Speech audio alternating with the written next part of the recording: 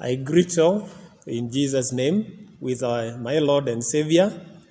Uh, you are watching us from PCEA Nderi Parish, and we are glad to thank God that during this week, uh, the Youth Week, that is, we are celebrating from Monday to Sunday, we have been given a scripture that is Daniel chapter 6 and from verse 1 to 9 and also the book of uh, Second Peter.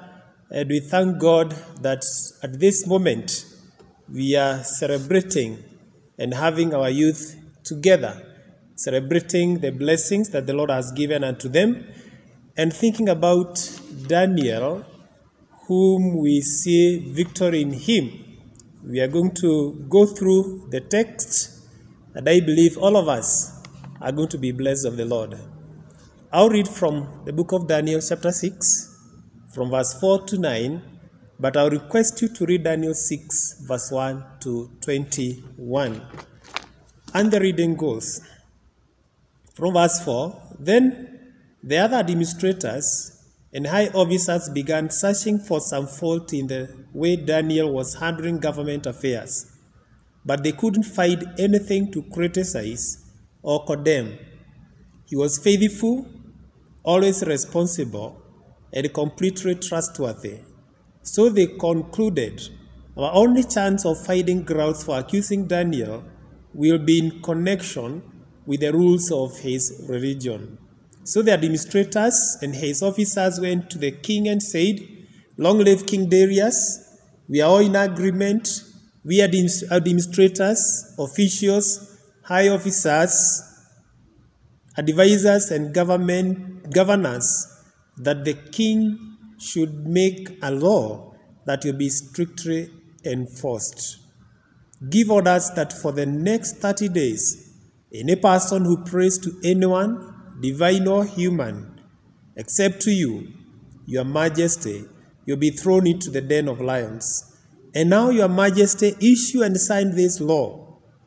So it uh, cannot be changed.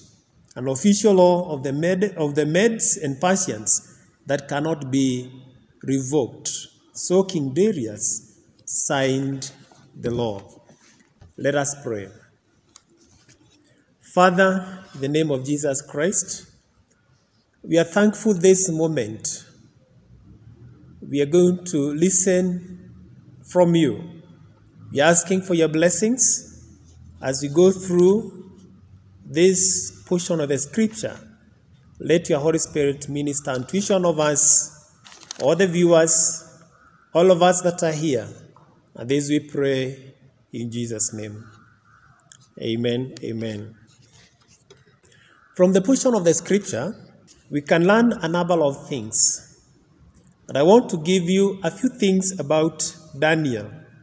During this time, Daniel was over 80 years and he was one of the top three administrators. He worked efficiently than the rest of the other administrators, even the officials and the governors. Darius, King Darius was very happy, and Daniel earned a place of respect in him. Daniel portrayed a very good picture of whom he was to this pagan king. Daniel again, he represented God to the employer. Therefore, King Darius and the other people around him, they knew very well that there is a God who is worshipped by Daniel. During this his time when he was serving the king, he made enemies at his working place, and they were very much mad on him because he was doing good things to the king, but they were not happy about that because they were not able to serve efficiently to the king. Today, I would like to tell you that when you excel, some people may work and plan to hold you back or even bring you down. The jealous administrators, and officers couldn't find anything on Daniel's life to criticize.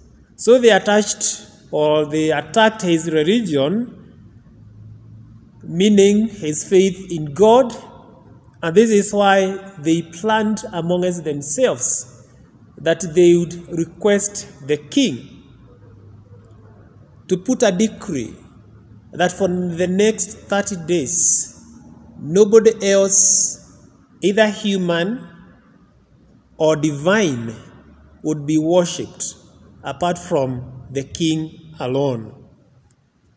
Today, you need to know that anytime you see some blocks ahead of you, don't worry about the blocks or the hindrances. You need first to think why are the hindrances ahead of you? A hindrance is about to come on Daniel's life. A hindrance is about to be in front of Daniel. How is Daniel going to handle this? The law that was passed, even the king could not change it. Daniel stood alone now, but he continued what he believed in. He prayed for three days, for three times a day, and I can say that Daniel had a disciplined life, and especially in the area of prayers. Daniel never let any pressure or threat cut into his prayer time. He used to pray for three times in a day, and surely he never let this issue, this hindrance, affect him. Prayer is our lifeline to God as Christians. He never had his daily prayer routine. Daniel was found guilty according to the law and plan that was planned by the enemies and Daniel was thrown to the den of lions. In the den of lions, we thank God that He sent an angel who protected him. In accordance with the Persian custom, on the other hand, it is good for all of us, viewers, wherever you are watching us, to know that in that Persian custom, the cruel punishment, if it was not true, was transferred to those who conspired against the king by provoking him into an unjust action. The evil officials, their families, were all thrown in. I never hit the ground. They were put in a den of lions because they provoked the king into an unjust action. Daniel was saved in God's hands. Today, how was, we need to ask ourselves, how was Daniel able to overcome this? I have three points to consider to be able to answer this question. And the three points I believe will help us as Christians to be able to stand all the obstacles that are put ahead of us. Daniel maintained his discipline in God's faith. We as Christians, we also need to maintain our discipline in our Christian life. Daniel was very prayerful, and each and every day he would pray for three times. This means his connection with God was maintained, was taken care of, and each and every day he would start with God, he would spend the day with God, and Daniel would end the day with God. Therefore, as Christians today, we need also to maintain our disciplines in our Christian life. Let the Word of God, the Bible, be always near you. Not just near, you need to open and read. You need to have the Word of God with you each and every day. We need to read it. we need also to reflect upon the Word of God. We need to use it, and we need also to apply this Word of God. Somebody said, The Word of God, you need not fight the Word of God. You need only to face it as it is, receive it, accept it, and let the Word of God work in your life. As a Christian, too, I need, we all need to maintain our prayers, our prayer lines with our God. Each and every day, don't let a day end. Start the day with God, spend the day with God, and end the day with God in prayer. The other thing that we need to do as Christians, we need to come together. We need not to neglect the gathering of coming together. Together in a fellowship where we praise our God, where we share what God has blessed us throughout the week, or even any other teaching that you have learned.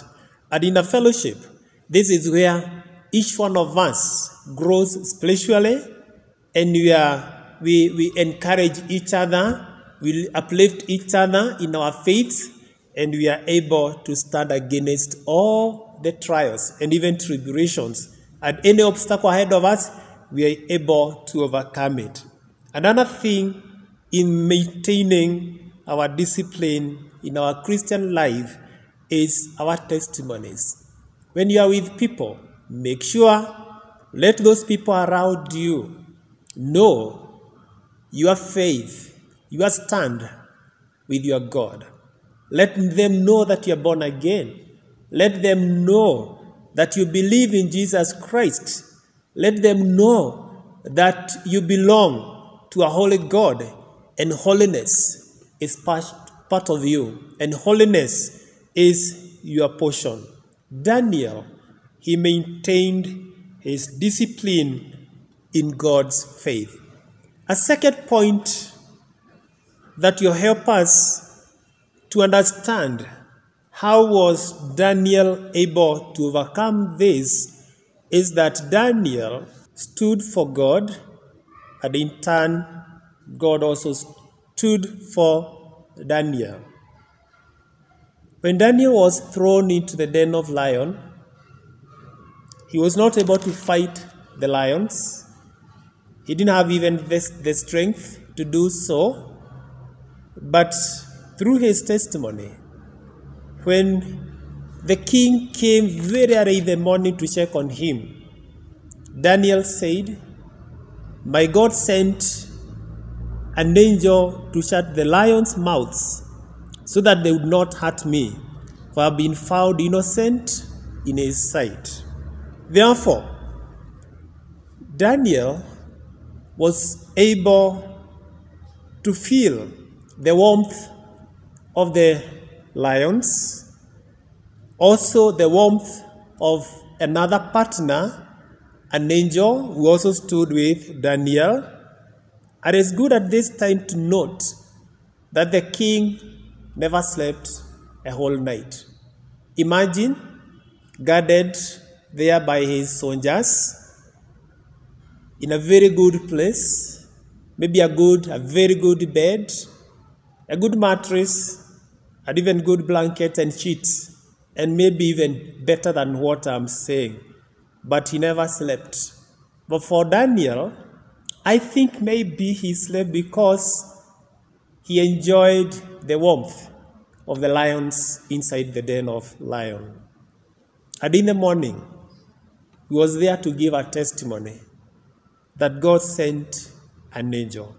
Therefore, the moment you stand for God, despite of the challenges, all the problems ahead, ahead of you, the problems, they don't have the power to withstand the power and authority of the person you believe in.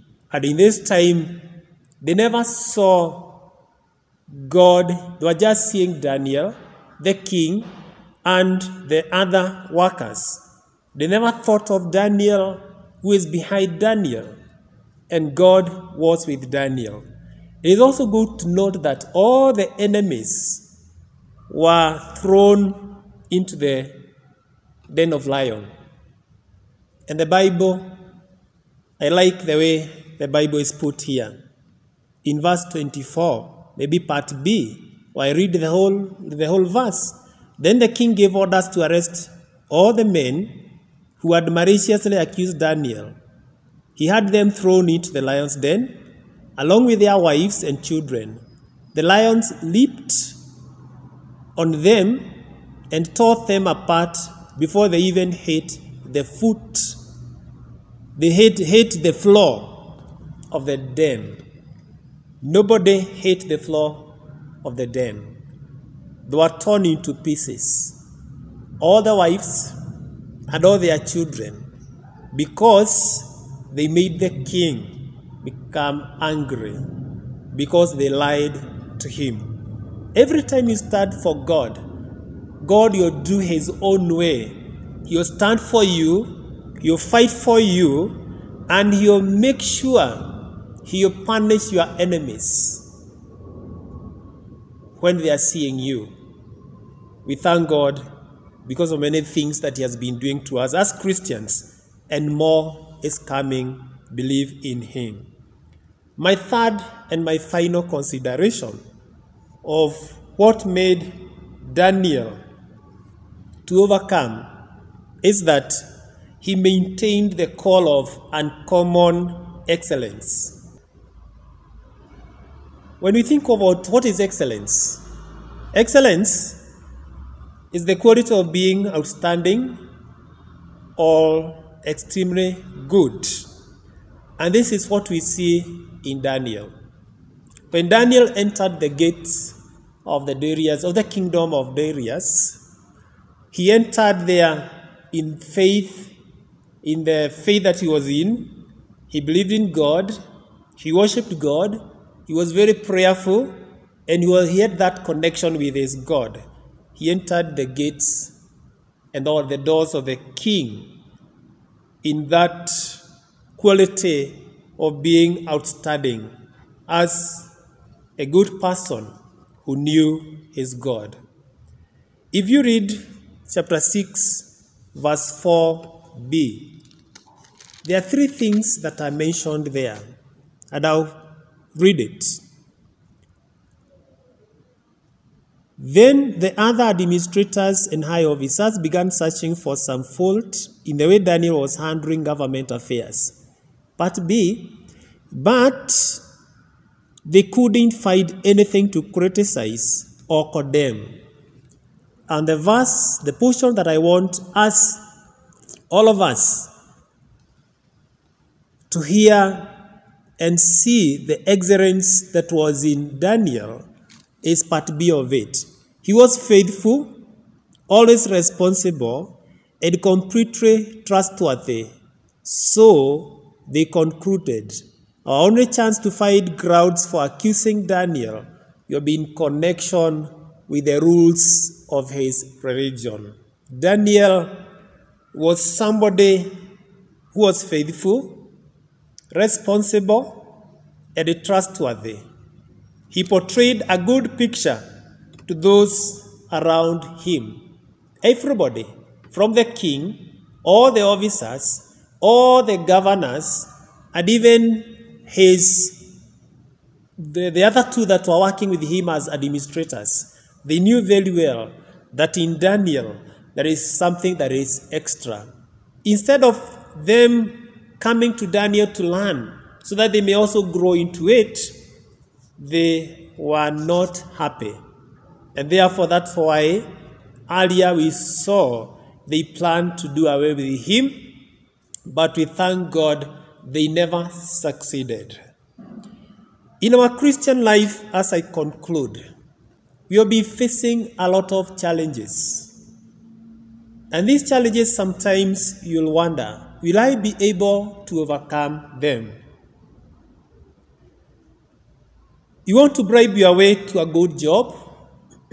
or you bribe your way to a promotion, or you want to do something.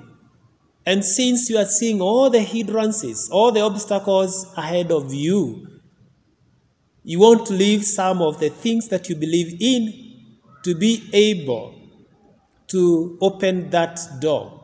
And maybe the door cannot be opened by anything else apart from maybe bribing or apart from maybe lying or cheating or get away that is not godly into a certain area, a way that is full of sin and you want to achieve by disobeying God, by doing some, anything that is evil, either in the eyes of God, evil by the rules of, uh, of the community, and in that, I want to tell you, you will not succeed. But if you do like Daniel, you'll succeed. Because in the three points you have seen that Daniel, he maintained his discipline in God's faith.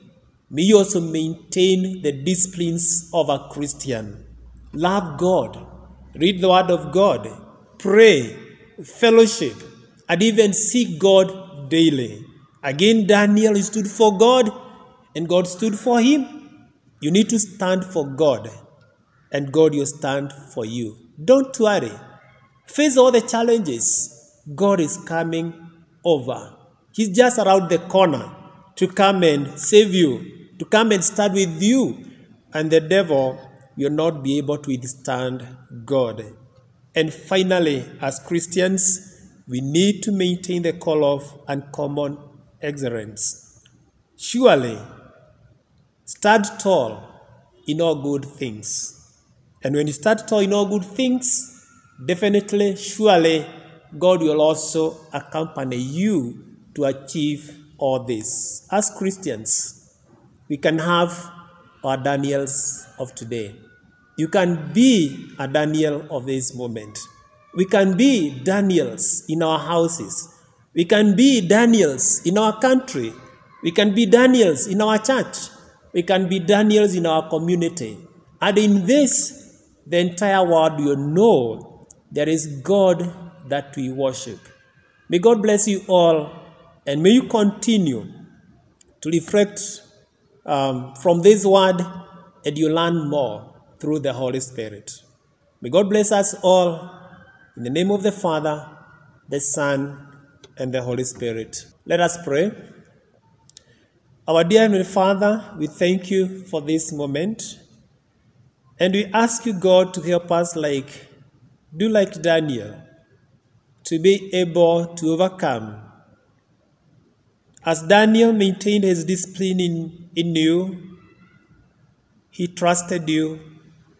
Help us also as Christians to maintain our disciplines, to make sure that our Bibles, they are not just in our shelves. We need to keep our Bibles in our hearts and in our minds by reading and meditating on the scriptures. We need to have that connection with you by maintaining our daily talk with you, to pray, to, to worship you, and Father, also a time to tell others about your goodness, to give our testimonies to other people around us so that they may know we are different. Father, we're also asking you to help us, God, stand for you, and we believe at the right time you'll also stand for us, for the world to know that our God is not far from us. Thank you because you stood for Daniel. When he was not able, you sent an angel, and all the lions were not able to harm Daniel. And Jehovah God, finally, we are asking you to help us, God, maintain the call of uncommon excellence. You've called us as Christians, Jehovah God. Help us, Father, to stand tall for what we believe in. Help us, Jehovah God, wherever we are, to maintain our call. And Jehovah God, in this, those people around us will learn more and more. And when they come to us, you'll be telling them the secret is believing in God. Father, we praise you. Bless all these people that are listening, that are watching, whatever they are, and whatever challenges they are in, Jehovah God. there may be more than the Daniel's challenges. Jehovah God, we are asking for your blessings, and this is the time to show the whole world to show all the entire universe that you are together with your people. Come and deliver us, O God. Come and stand with us, and victory is sure. This we pray in Jesus' name. Amen, amen, amen. God bless all of you and have a nice time as we continue to meditate on the Word of God. Amen.